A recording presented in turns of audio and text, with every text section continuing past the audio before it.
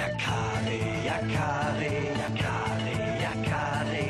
Der Junge und sein bester Freund, kleiner Donner, sind zu allem bereit. Yakari, Kleiner Donner! Yakari. Kleiner Donner! Ist dein Freund mal in Gefahr, sind die beiden immer da. Yakari, Yakari, Yakari. Frühjahrsputz bei Flughörnchen.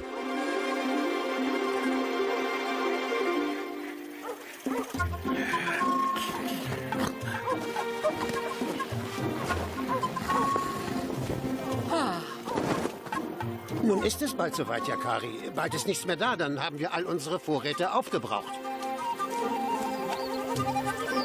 Aber das ist kein Grund zur Sorge, denn es ist Frühling und unsere Mutter Erde wird wieder neue Gaben hervorbringen.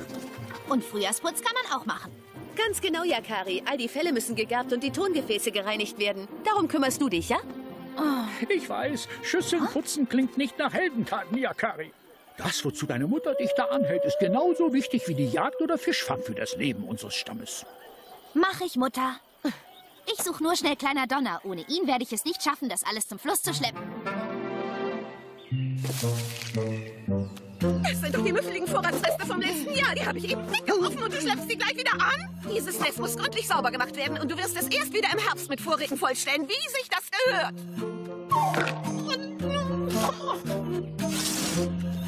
Geht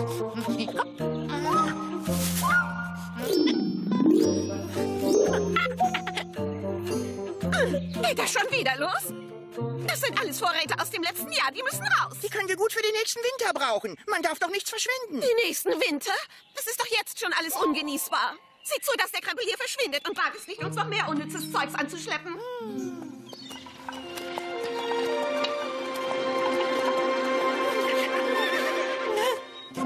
Flughörnchen. Hallo, ich bin's, Yakari. Geht es euch gut? Ach ja, Kari, das trifft sich gut. Macht man jetzt Frühjahrsputz oder sammelt man Vorräte? Kannst du das dem da mal erklären? Na, Frühjahrsputz. Deine Frau hat recht. Sammelt ihr eure Vorräte nicht im Herbst, wie es alle anderen Flughörnchen tun? Hm, Eigentlich schon, aber man kann ja nie wissen. Also fange ich lieber jetzt schon an. Nachher hat man nicht genug. Du brauchst keine Angst zu haben. Sicher habt ihr genug, denn zur rechten Zeit gibt uns Mutter Erde alles, was wir brauchen, um uns zu ernähren. Es bringt nichts, wenn wir unnütze Dinge anhäufen.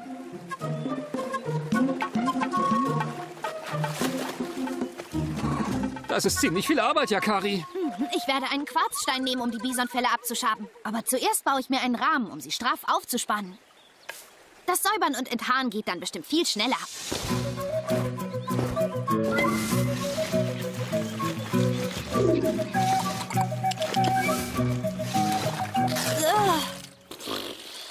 Schon wieder ein Loch? Das nähe ich schnell zu. Hä? Was? Hey, wo sind die ganzen Sachen hin?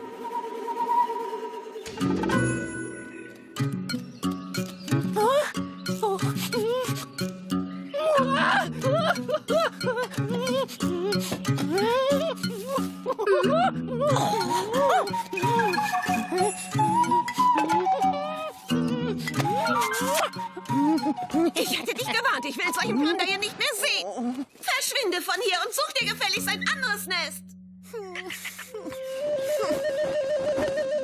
Ich muss Yakari finden. Das ist das Revier von Flughörnchen. Es wäre nicht das erste Mal, dass er sich Sachen von uns nimmt. Yakari, sieh mal. Hey! Ich hab dich gesehen, Flughörnchen. Hast du mich gerufen, Yakari? Oh, du bist da? Ja, natürlich. Ich habe dich gesucht. Aber wenn du da bist, wer steckt dann wohl unter dem Topf? Meine Frau hat mich rausgeworfen. Du musst mir ganz dringend helfen, Yakari. Auf dich wird sie sicher hören. Bitte rede mit ihr. Das geht jetzt nicht, Flughörnchen. Jemand hat mir all meine Sachen weggenommen. Wenn du mir jetzt nicht hilfst, werde ich den Wald verlassen müssen. Ja, na gut, ich red mit ihr. Doch danach muss ich den hinterhältigen Dieb finden, der mit all meinen Sachen verschwunden ist.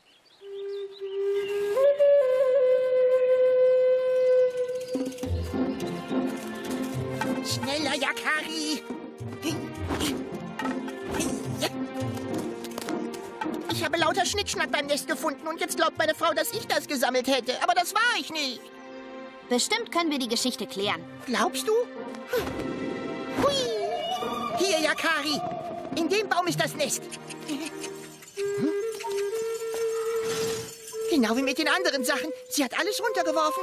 Ja, nur leider gehören mir diese Sachen. Dieser Quarz und die Schüssel. Wie kommt das hierher? Ich war das nicht, bitte glaub mir. Wenn das so ist, finden wir raus, wer diesen Unsinn angestellt hat. Sieh mal einer an. Unser Dieb hat also Krallen, mit denen er auf Bäume raufklettert. Wo?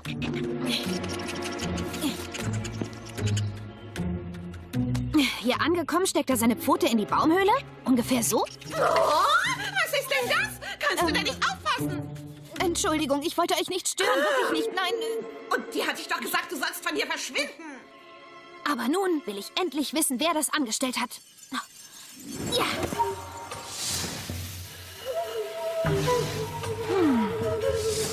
Nanu,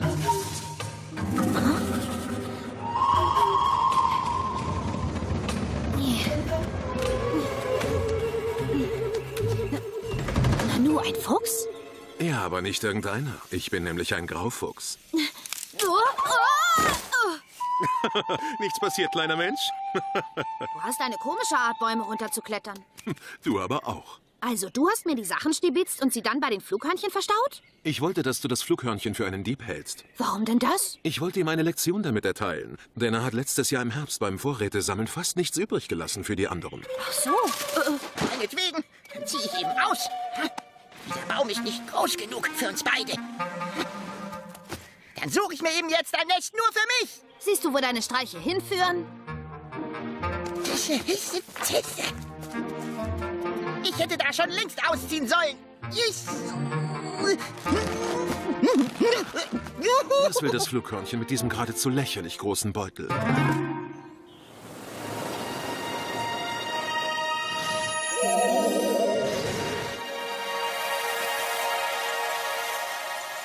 Es kann nicht einmal mehr von Ast zu Ast fliegen.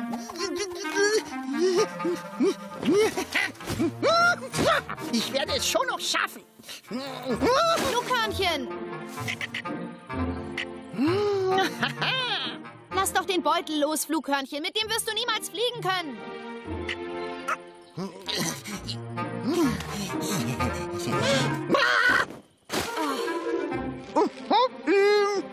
Yakari! Kleiner Donner! Sei vorsichtig, kleiner Donner. Du musst vom Feuer weggehen. Ja, Kari, sieh doch da. Ganz oben. Was macht er da nur? Flieg, Flughörnchen. Du musst sofort von dem Baum weg. Lass endlich diesen Beutel fallen. Beeil dich! Er ist verrückt.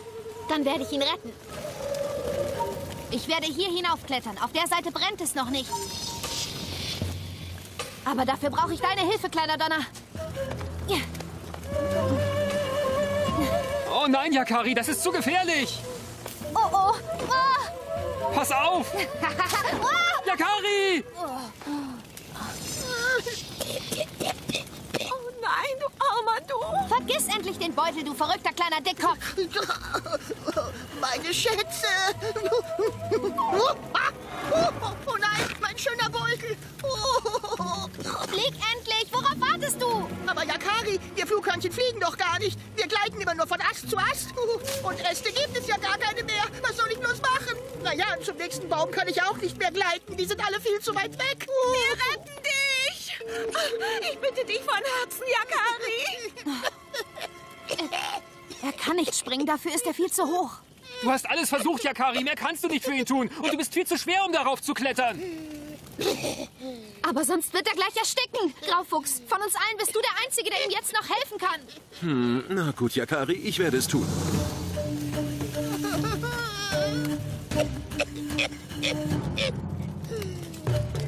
Ich werde meine Schätze nie wiedersehen.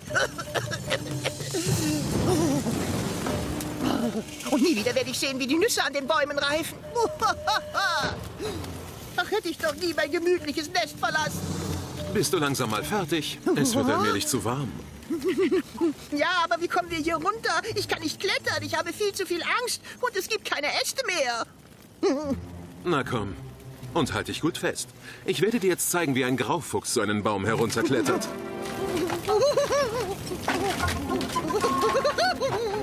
Was ist das denn für eine komische Art, so einen riesigen Baum runterzuklettern? Ich habe Angst. Das hast du toll gemacht, Graufuchs. Was für ein Glück, dass keinem von uns irgendwas passiert ist.